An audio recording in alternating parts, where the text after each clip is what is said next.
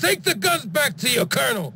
But remember, you belong to me now. Any shipments you bring to Vice City comes through me. See, see, no problem. Vic, I was just talking to my new friend Gonzalez about loyalty. How I will look after him so long as he does what he's told. And you will do as you're told, won't you? See, see. Bueno.